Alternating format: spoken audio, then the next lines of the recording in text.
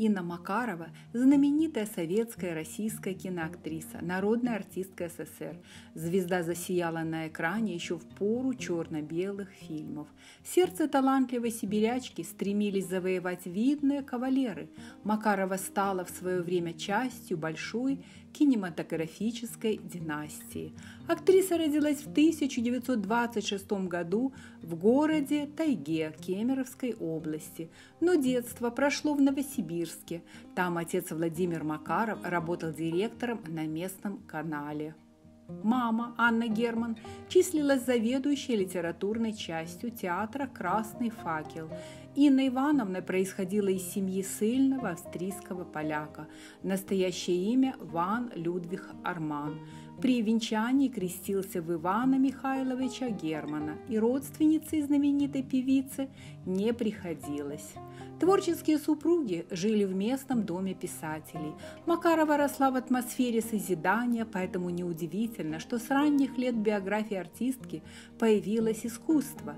Еще в пятилетнем возрасте Инна начала ставить сценки во дворе дома, а когда пошла в школу, записалась в драм-кружок – когда разразилась война, Макаровой было 15 лет. Вместе с труппой театрального кружка школьница ездила по госпиталям и выступала перед ранеными солдатами и офицерами.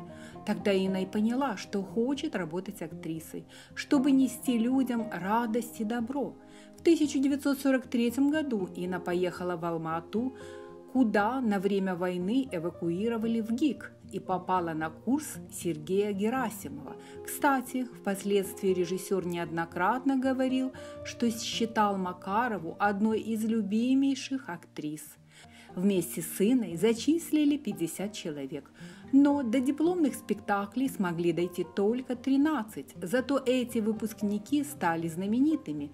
Среди однокрупников Макаровой значились такие будущие звезды, как Клара Лучко, Людмила Шагалова, Евгений Маргунов и Сергей Бондарчук, который пришел в Авгик с фронта сразу на третий курс. Последние годы обучения Инна начала выходить на театральную сцену, в том числе сыграла Кармен в одноименной пьесе «Проспера Мериме». В спектакле «Кармен» Макарову увидел писатель Александр Фадеев и попросил Герасимова обратить на выпускницу пристальное внимание, не зная, что тот является наставником актрисы в Авгике. Но взгляд со стороны утвердил режиссера в решении доверить подопечной роль Любови Шевцовой в фильме «Молодая гвардия». Девушка подошла к работе ответственно, даже ездила общаться с родителями настоящей Шевцовой, чтобы лучше понять характер героини. После этой картины Макарову стали часто приглашать сниматься, но среди прочих проектов колоссальную популярность артистки принесла лента «Высота», где Инна Владимировна сыграла яркую девушку Катю Петрошень.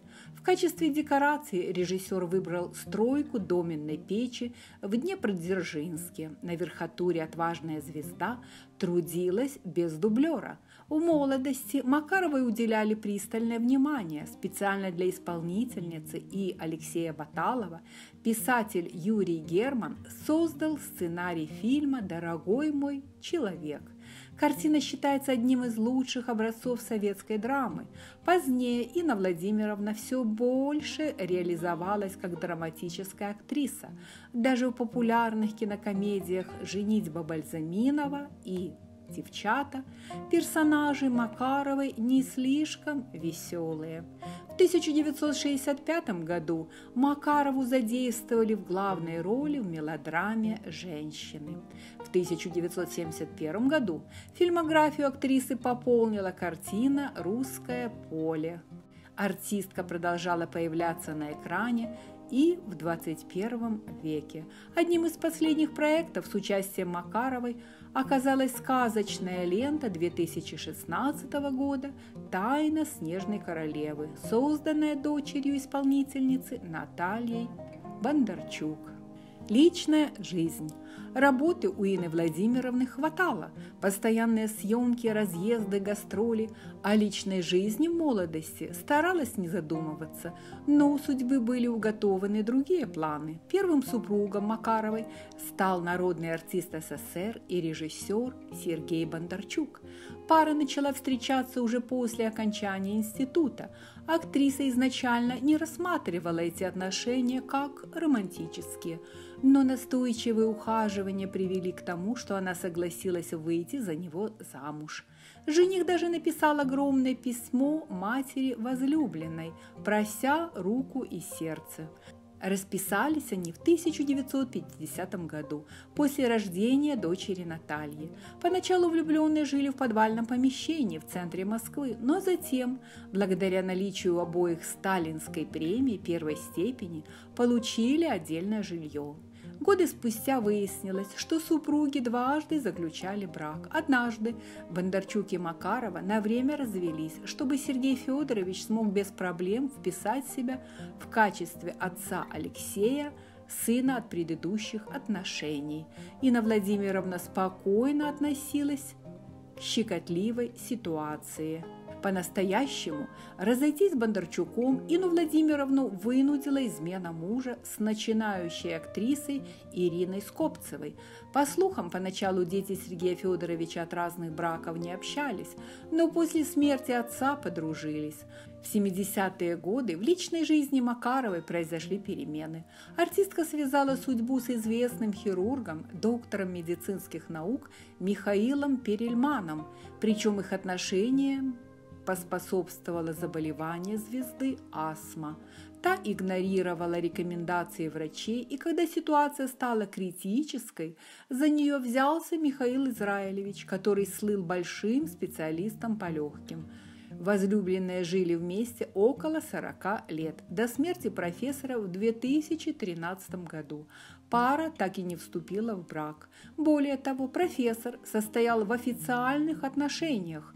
Союз изменил звезду. Инна Владимировна перестала быть капризной ради Перельмана, научилась рано вставать по утрам, с удовольствием готовила – при этом Макарова вспоминала, что романтики между ними не было, оба были сосредоточены на карьере, но когда стала вдовой, осознала, ее жизнь уже не будет прежней. Смерть супруга сильно повлияла на ее состояние, знаменитость перестала появляться на публике, общалась исключительно с близкими. Творческие профессии выбрали себе и внуки актрисы. В конце 2016 года дочь артистки призналась, что Инна Макарова начала стремительно терять память. С возрастом женщина все больше отрывалась от реальности, а после даже начала видеть покойных родственников, чем не на шутку взволновала родных. Проблемы возникли еще в 2013 году, после смерти Перельмана. 4 марта 2020 года актрису госпитализировали в тяжелом состоянии в московскую ЦКБ. 25 марта Инна Макарова скончалась на 94 году жизни. Родственники не стали вдаваться в подробности причины смерти. Известно, что Инна Владимировна страдала астмой. Позднее Наталья Сергеевна призналась, что мать сохла на глазах, постепенно отказывали органы.